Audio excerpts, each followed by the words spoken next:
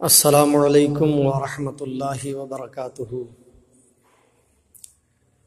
मैं उम्मीद करता हूँ कि आप तमाम हजरात ज़रूर खैर आफियत से होंगे। अल्लाह ताला तमाम देखने वालों को मक्का मदीना का दीदार नसीब अता फ़रमाए। हजरात, आप तमाम हजरात के सामने जो वीडियो नज़र आ रहा है, जो आप देख रहे हैं, ये हबीबी जाम मस्जिद टेंडा कोड़ा ज़िला केंद्रापाड़ा में कस्बा है जहाँ टेंडा कोड़ा के नाम से मशहूर है कस्बा। उस कस्बा में सरकार मुजाहिद मिल्लत के नाम से हबीबी जामा मस्जिद और मदरसा जामिया हबीबिया कायम किया है। और इसमें हज़रत मौलाना सज्जाद हुसैन हबीबी साहब आज को मुकम्मल 22 साल से इमामत की खिदमत अंजाम दे रहे हैं और मदरसा जामिया हबीबिया के बानी भी हैं और सर और सदर मदरस हैं।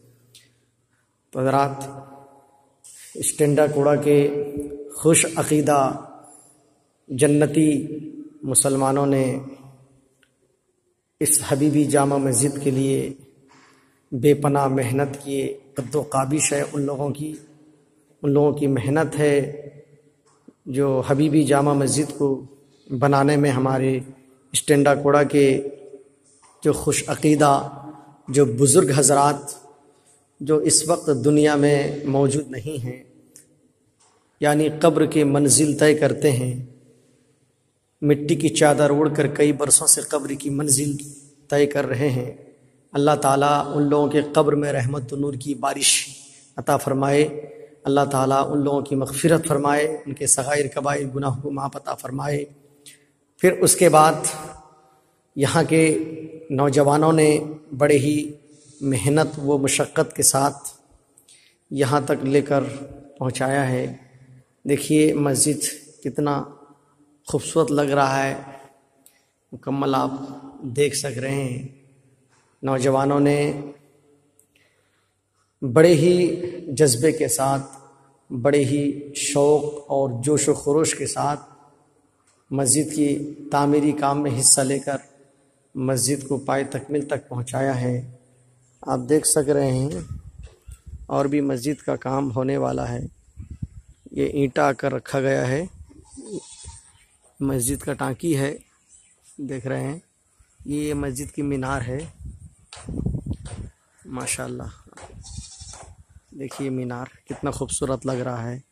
अल्लाह ताला उन नौजवानों के रिस्क में, रोज़ी में बेपना बरकतें अता फरमाए, जिन्होंने दाम दिर में, कदम सुखन हिस्सा लेकर, एकजुट होकर, इस मस्जिद के तामीरी काम में हिस्सा लेकर, अल्लाह के घर को बनाया है। अल्लाह तबारक व ताली की बारगाह में दुआ है कि अल्लाह तबारक व ताली तमामों के घरों को सजा दे, तमामों के हश्र को सजा दे तमामों की कब्र को सजा दे और उनके घरों से तमाम परेशानी को दूर फरमाए, जो इस मस्जिद के काम के लिए पैसा दिए हैं, पैसा लगाए हैं, अपना मेहनत का जो कमाई है मस्जिद के लिए, अल्लाह के घर के लिए दिए हैं। अल्लाह ताला उन लोगों के घर में खूब खूब बरकतों का नज़ुल फरमाए और अपने हबीब पाक सल्लल्लाहु अलैहि वसल्लम के सदक़े तो फैल, उन लोगों के मरहुमीन की भी मगफिरत फरमाए।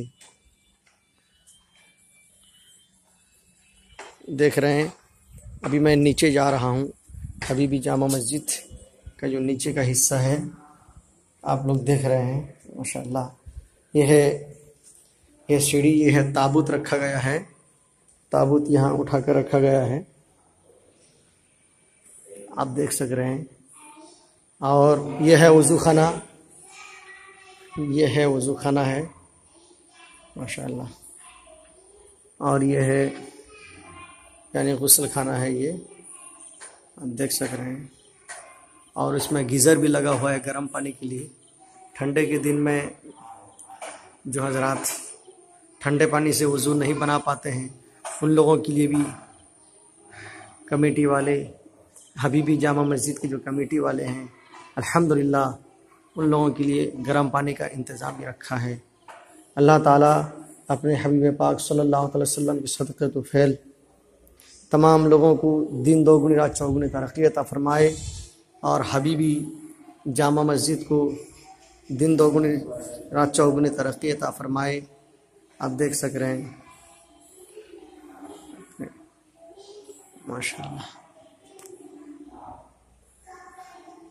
ये वज़ू की बात की दुआ अल्लाह मिन तवाबिन वजालनी मिन मतहीरीन और ये हुजूर सल्लल्लाहु अलैहि वसल्लम का फरमान, नमाज़ मेरी आँखों की ठंडक है। माशाल्लाह, ये वज़ू खाना में लिखा गया है।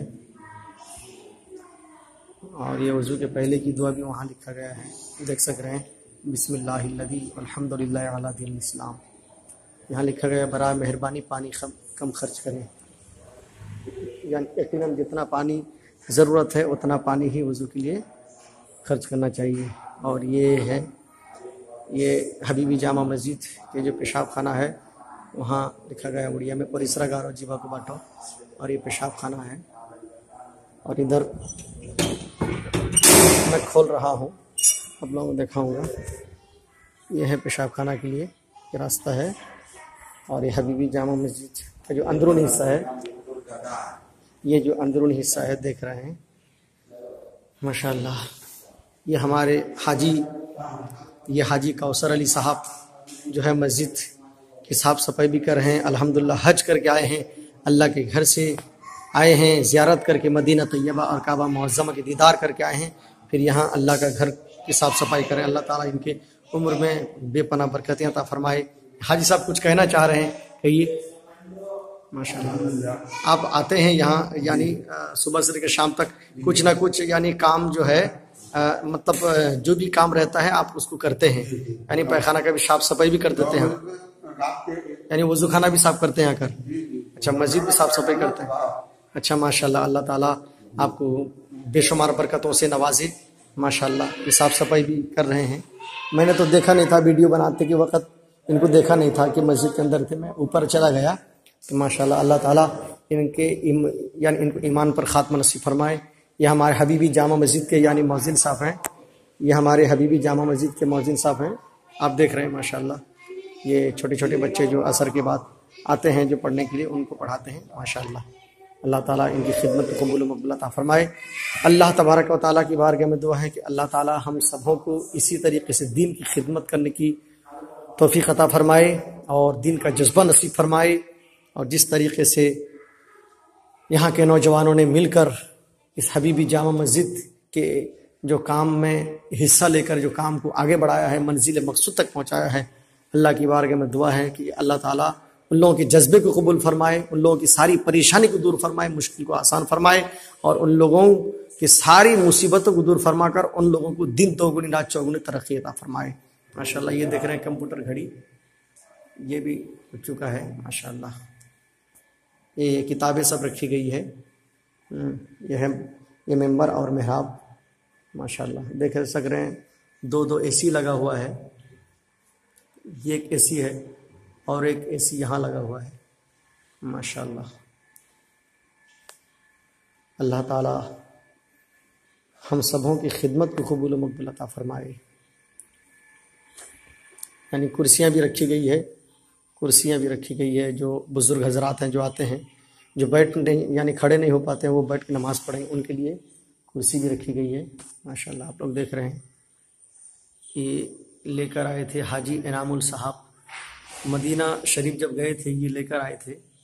बोले कि मैं कुछ तोहफा लाया हूँ। मैं कहा, ठीक है, इसे बंधवा के लगा दीजिए। देखिए, वो तो दुनिया से चले गए, लेकिन आज उनका दिया हुआ चीज़ मक्का शरीफ से, मदीना शरीफ से जो लाए थे, ये रखा गया है। माशाल्लाह, अल्लाह ताला उन लोगों उनको जन्नत नसीब अता फरमाए और ऐसी पाक सरजमी पर वो रह गए। अल्लाह ताला उनके अमल को कबूल मकबूल अता फरमाया। और हम सबों को भी अल्लाह ताला मदीना तैयबा काबा मुआज़मा का दीदार नसीबता फरमाए और ईमान पर ख़ात्मा नसीबता फरमाए। तब तक के लिए रुकते हैं। अल्लाम फ़ी